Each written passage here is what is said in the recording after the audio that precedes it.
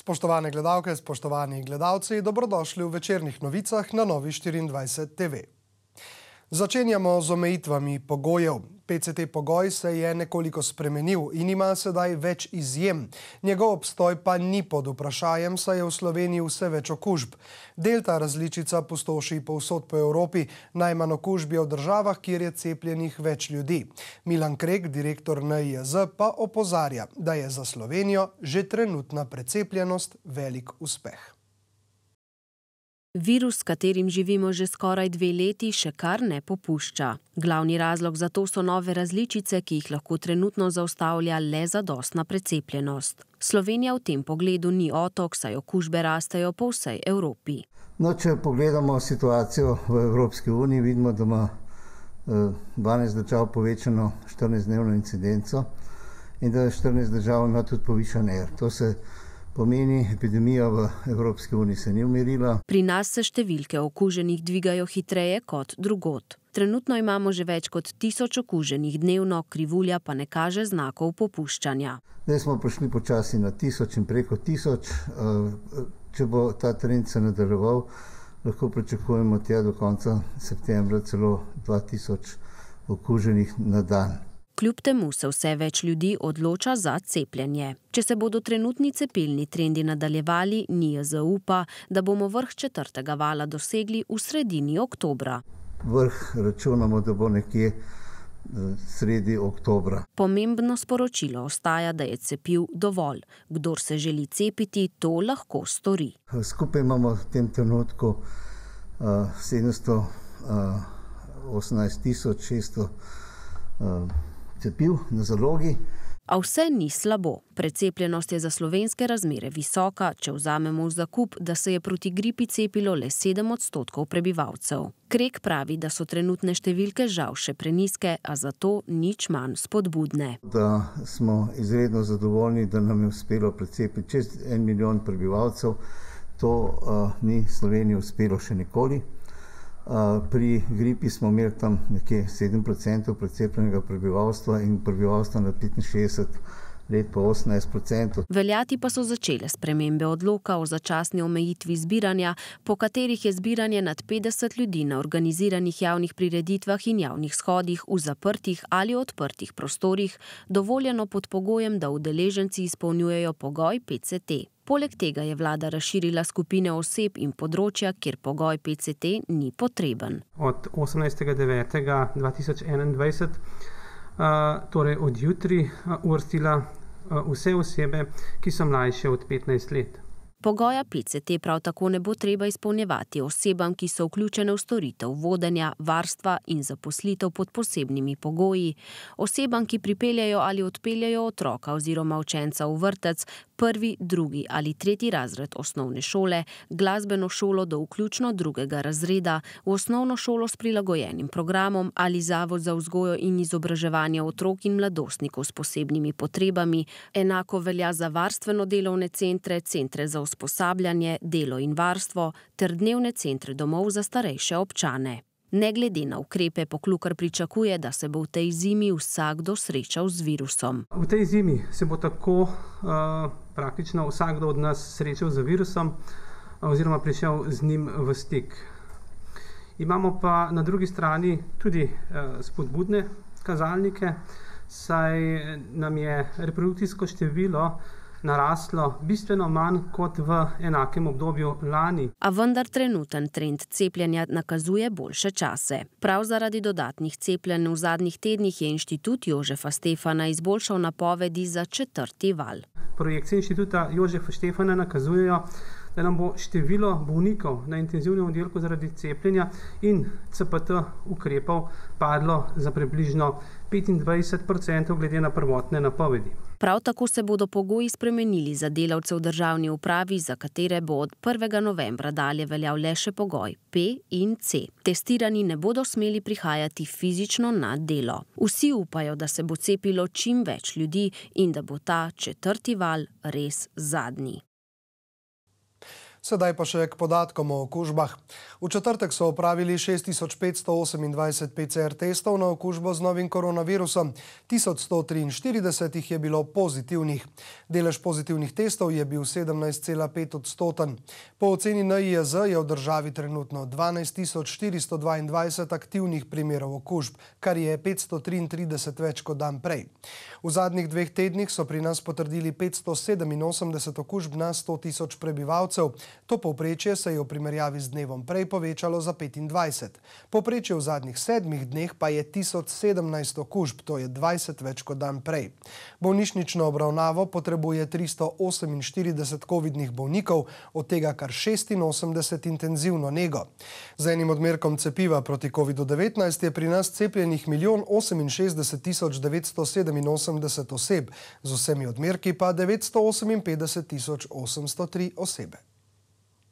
Delegati kongresa SMC v celju so prvaku stranke Zdravko Počivalšku podelili mandat za dogovor o združevanju, povezovanju in sodelovanju s sorodnimi strankami.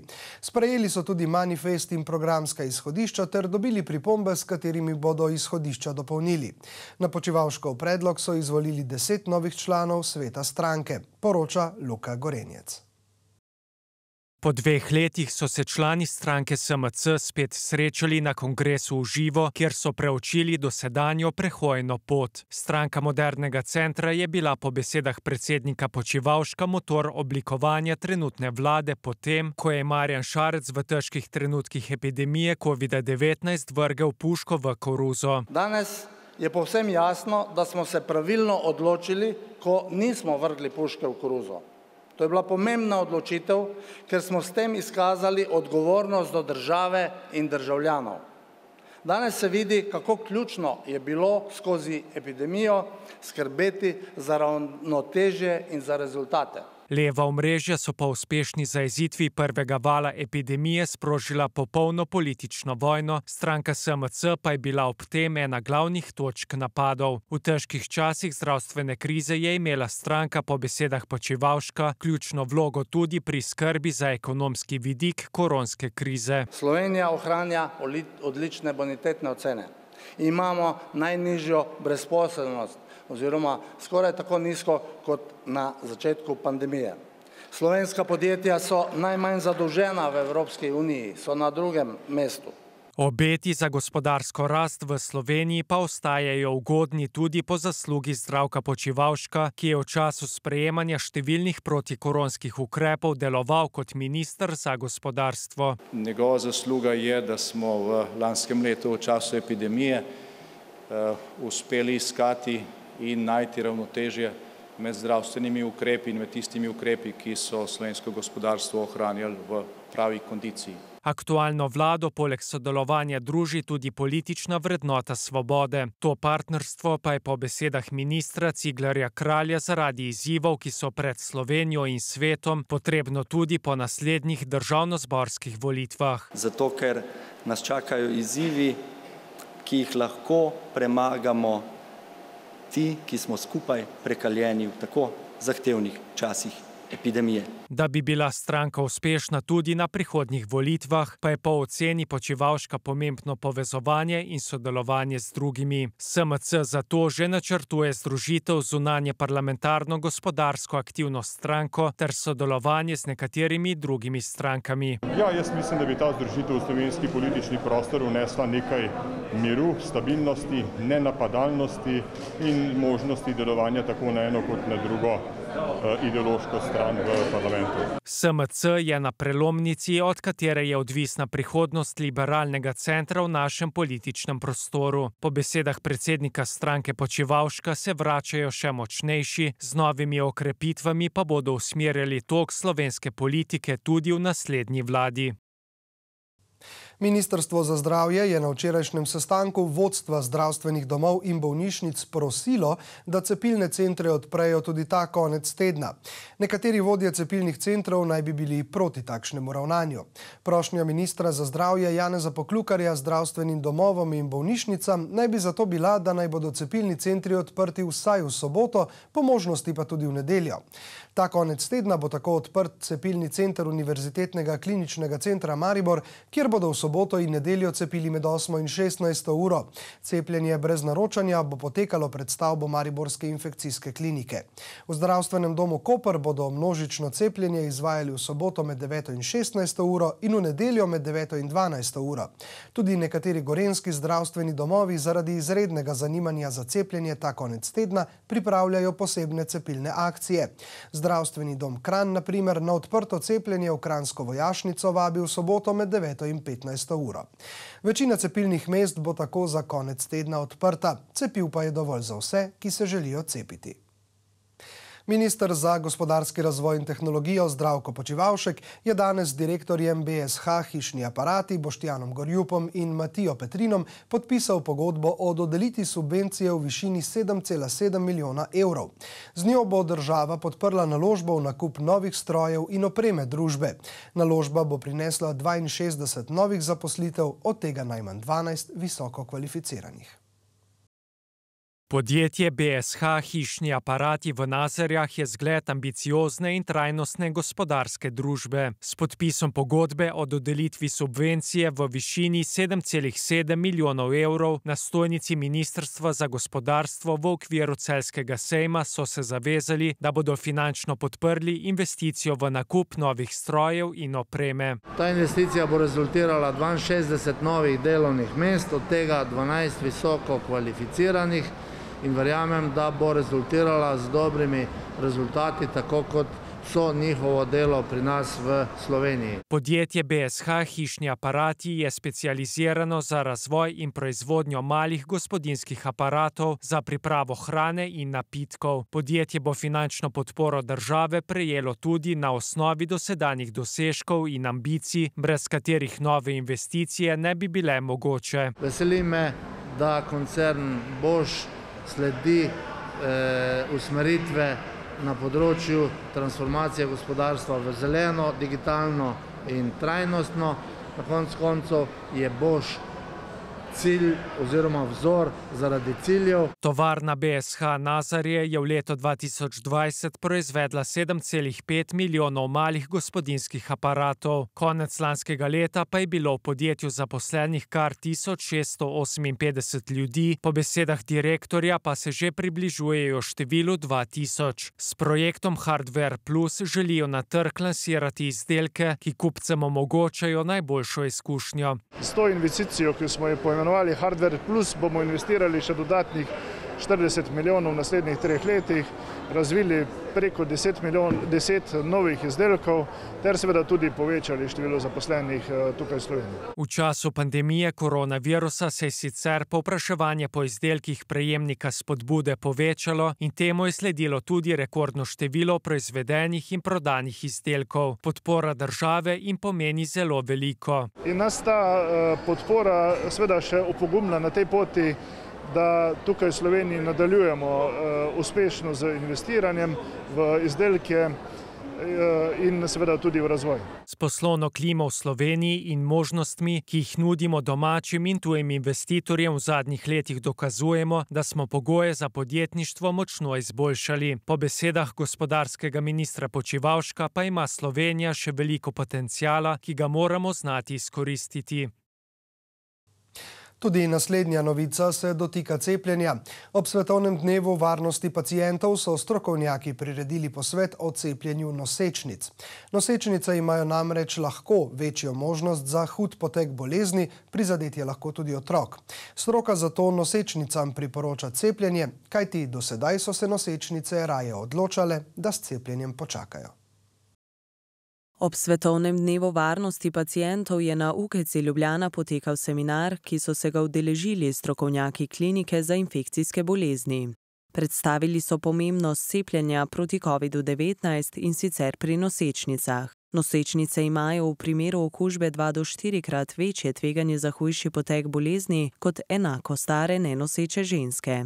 Pogosteje so sprejete v enoto intenzivne terapije in potrebujejo mehansko ventilacijo ter imajo povečano tveganje za smrt. Ker je ob tem dnevu varnosti pacijentov še posebej izpostavljena varnost nosečnic in porodnic in mislim, da se vsi zavedamo, da je um, to zelo pomembno področje, uh, kjer skušamo v resnici zagotavljati ustrezno oskrbo in obravnavo stališča varnosti. Jaz bi pa želel bi pa poudariti, da varnost pacijentov, predvsem tudi nosečnic in porodnic je bistveno več kot mogoče varnost v tem, v tem času COVID-a, ampak gre za cel, za, za kulturo razumevanja in obravnave vseh ljudi, ki potrebujejo zdravstveno oskrbo. V času nosečnosti mora ženska še posebej skrbeti za svoje zdravje. Zaradi mnogih sprememb v delovanju njenega telesa, med drugim tudi imunskega sistema, je tveganje za okužbo z nekaterimi boleznimi večje.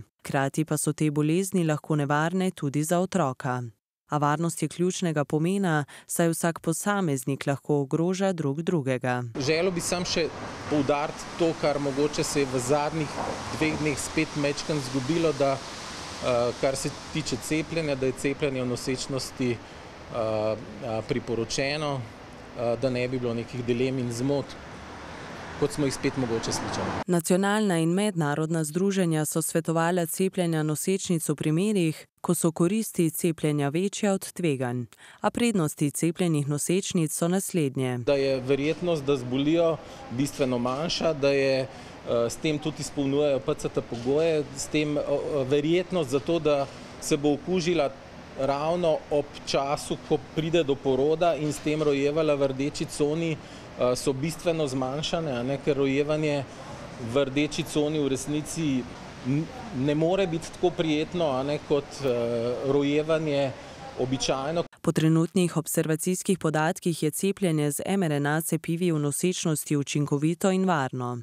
Pri vektorskih cepivih AstraZeneca in Johnson Johnson se je poročalo o pogostejših trombozah v kombinaciji s trombocitopenijo po cepljenju vendar sta tako Evropska kot Ameriška agencija za zdravila ugotovili, da so koristi cepljenja nosečnic pri preprečevanju širjenja okužbe s COVID-19 večje, kot pa so tveganja za hospitalizacijo in smrt. Priporoča se mRNA cepiva, mislim, da danes je bilo v tem seminarju zelo veliko tem povedano, raziskav je veliko, če dalje več, mi smo prvo priporočilo Združenje za perinatalno medicino in klinični oddelek za perinatologijo izdali 25. aprila in vse študije, ki so bile narejene naknadno in objavljene v resnici potrjujejo pač ta, te izsledke in ta priporočila in večina združenj svetovnih v bistvu priporoča cepljenje tudi za nosečnice. V tem času je cepljenje za nosečnice zelo priporočljivo, saj je to velika skupina, ki se bo potencialno ali verjetno okužila s koronavirusom.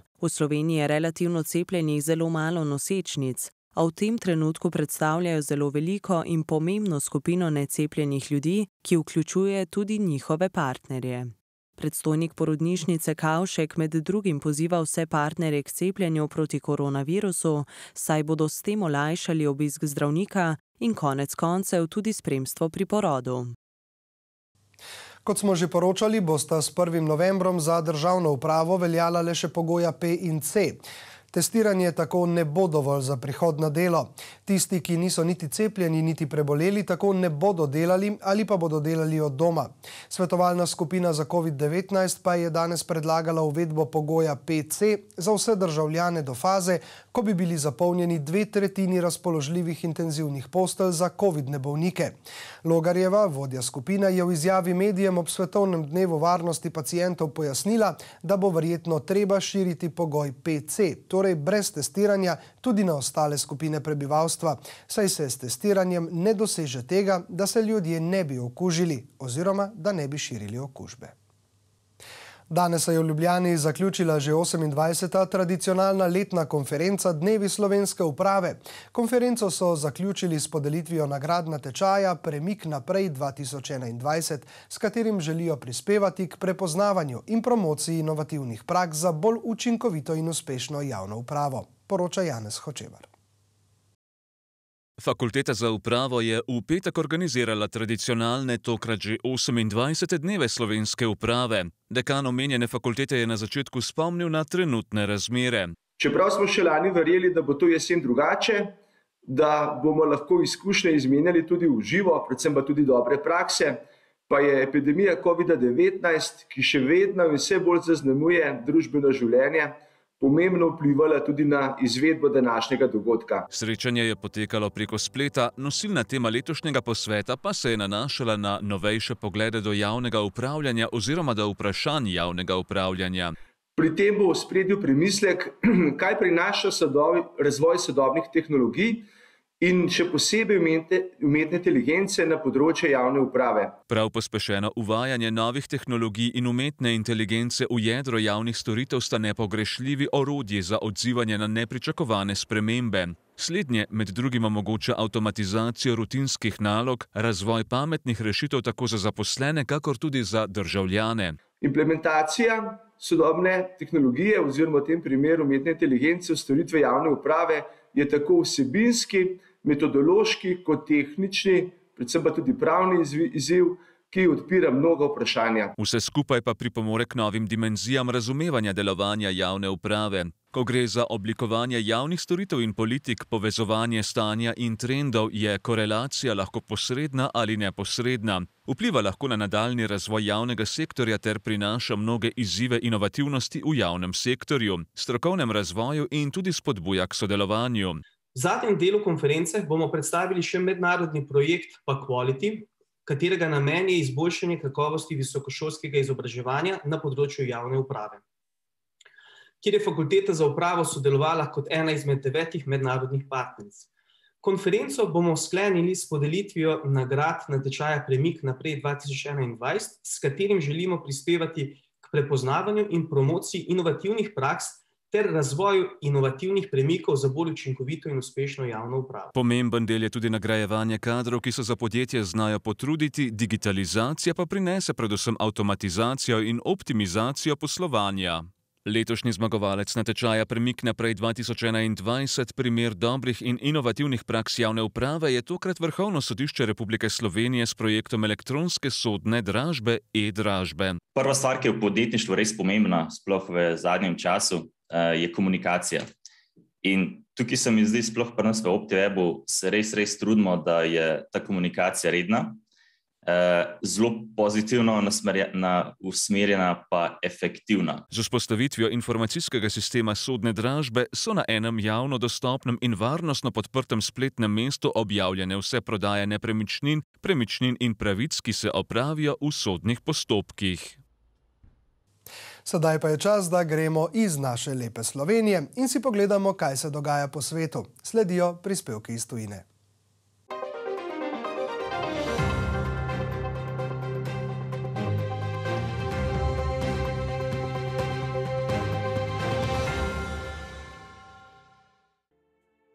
Predsednik Filipinov Rodrigo Duterte ne bo sodeloval pri preiskavi filipinske vojne proti drogam, ki jo je odobrilo Mednarodno kazansko sodišče. To je ugotovilo, da bi zatiranje narkomanov, kot je to počel Duterte, lahko pomenilo zločin proti človečnosti. Predsednik se ni odzval na odločitve sodišča, ker je že na samem začetku povedal, da bo prej umrl, kot se soočil s tujimi sodniki. Če pride do pritožb, jih je treba obravnavati na Filipinih, kjer naša sodišča delujejo in sodišča Mednarodnega kazenskega sodišča za to ni pristojno. To bi lahko odločalo le v primerih, ko naša sodišča ne bi delovala ali bila pripravljena soditi v neki zadevi. Človekoljubne organizacije ocenjujejo, da je Dutertejeva kampanja proti narkotikom ubila več deset tisoč ljudi. Po mnenju sodišča gre za nezakonit in sistematičen napad na civiliste. Predsednik je prepričan, da so za vse tiste, ki želijo ložiti pritožbo, odprta filipinska sodišča. In ko smo podpisovali rimsko pogodbo, nismo odstopili od suverenosti in naših pristojnosti. Zavezali smo se le, da bomo mednarodnemu sodišču omogočili, da prevzame primere, če naša sodišča ne bi bila na voljo za izvajanje sodnih postopkov. To, da zdaj imamo v naši državi delujoča sodišča.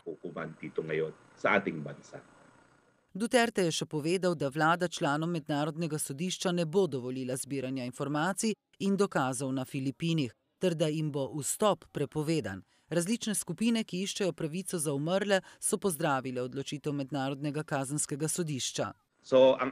Moja napoved je, da bo primer zastal, ker v odsotnosti sodelovanja zlasti strani policije res ne bo zbranih dokazov.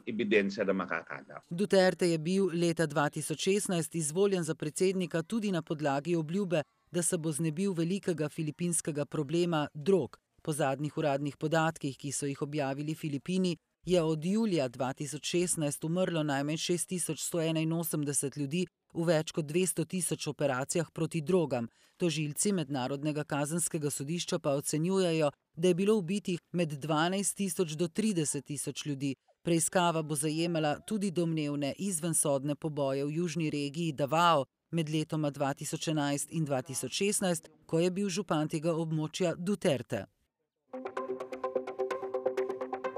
V petek se je v Avstriji začelo prvo sojenje zaradi izbruha COVID-19, ki so ga marca 2020 zaznali v okolici priljubljenih smučarskih letovišč. Sodni postopek je sprožila družina pokojnega Hanesa Šopfa. 72-letnik naj bi se z virusom okužil v dolini, kjer je med smučanjem zbolelo več tisoč oseb iz kar 45 držav. Nein, ja, im März 2020 Marca 2020 se je med smučarskimi počitnicami v Tirolski dolini Paznauntal po uradnih podatkih okužila več kot 6000 oseb, še posebej v smučarskem letovišču Išgl. Okužene osebe ter svojci umrlih oblasti obtožujejo, da so se na širjenje okužb odzvale mnogo prepočasi. Tudi poročilo neodvisnih strokovnjakov, ki je bilo objavljeno oktobra lani, je razkrilo več nepravilnosti. Avstrijski uradniki so že 5. marca 2020 vedeli, da se virus najverjetneje širi med dopustniki na smučiščih. Islandske oblasti so jih takrat namreč opozorile, da se je v letoviščih okužilo več njihovih državljanov, ki so bili ob vrnitvi domov pozitivni. Prva resna napaka je bila ta, da so lokalni uradniki rabili vsaj 48 ur oziroma dva dni, da so se odzvali. Um zu reagieren. Lokalne oblasti niso omejile števila turistov, ki so tisti teden želeli vstopiti v dolino. Regionalna vlada pa je sprva zavračala trditve, da so se islandski turisti okužili prav na tamkajšnjih smučiščih. Odvetnik umrlega 72-letnika trdi, da sledenje stikov ni bilo dovolj obsežno, ukrepi za zajezitev širjenja okužb pa niso bili dovolj odločni. Svojci pokojnika od države zdaj zahtevajo 100 tisoč evrov odškodnine. Aber Mislim, da so žrtve pričakovale, da bo Republika Avstrija končno prevzela odgovornost, toda zaenkrat ni videti, da bi se to zgodilo. Državljani Avstrije in Nemčije so do sedaj vložili že 15 vrstnih tožb, še 30 oseb pa od avstrijske vlade zahteva odškodnino. Z izbruhom na avstrijskih smočiščih so povezali 32 smrti, okoli 5 odstotkov okuženih pa še danes poroča, da trpijo zaradi simptomov, kot so glavobol, nespečnost in oteženo dihanje. Virus ebole so leta 1976 prvič zaznali v majhni vasici v Kongu. Gre za izjemno nalezljivo in nevarno bolezen, zaradi katere je ponekod umrla več kot polovica okuženih. Priznani virolog Jean-Jacques Mujembe, ki se je udeležil slovesnosti o prihodu zdravila Ebanga, je prepričan, da so strokovnjaki bolezen zdaj končno premagali. K preprečevanju okužb je v preteklih letih sicer pripomogla tudi zaščitna oprema in uporaba cepiv. Uh, Ko sem se zaradi ebole prvič odpravil na teren, nisem imel rokavic. Vzorce sem oduzel kar z golimi rokami, kri mi je kapljala v roke. Bolezni v Kongu več let skoraj da niso zaznali, leta 1995 pa je znova izbruhnila in terjala več kot 200 smrtnih žrtev. Virus se je med prebivalstvom ponovno širil tudi leta 2003, ko je umrlo kar 90 odstotkov okuženih. Strokovnjaki so že pred leti začeli preizkušati zdravljenje s transfuzijami krvi, ki so jo odzeli prebolelim. Virolog je povedal, da so se na podlagi teh rezultatov domislili tudi novega zdravila, ki so ga prvič preizkusili leta 2018. Sa découverte n'est pas seulement le fruit To odkritje ni le rezultat sodelovanja med znanstvenimi ustanovami iz Konga ter Ameriškim inštitutom za zdravje. Gre za prizadevanja različnih skupin raziskovalcev, tako moških kot tudi žensk, ki so bili na terenu.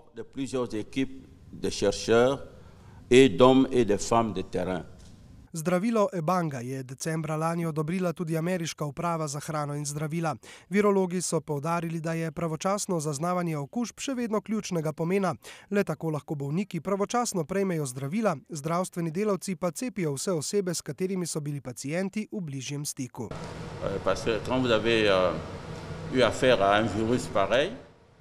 Z virusom sem se ukvarjal že 40 let. Pripomogel sem tudi k razvoju tega zdravila. Gre za nacionalni ponos, to je največji dosežek mojega življenja.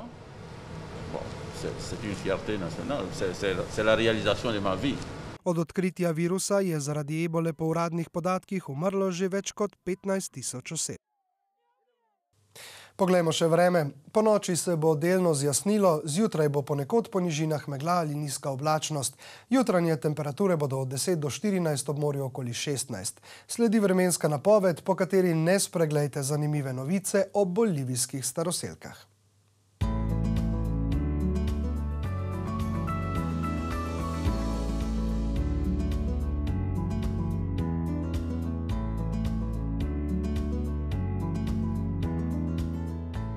Jutri bo delno jasno, zmerno oblačnost je občasno ponekod pretežno oblačno in večinoma brez padavin. V nedeljo bo oblačno s padavinami, več dežja bo v zahodni in južni Sloveniji. Ob morju bodo tudi nevihte. V ponedeljek bo pretežno oblačno z manjšimi krajevnimi padavinami. Nad srednjo Evropo je plitvo ciklonsko območje, vremenska fronta se pomika prek naših krajev. V višinah se nad nami zadržuje še razmeroma topel in vlažen zrak.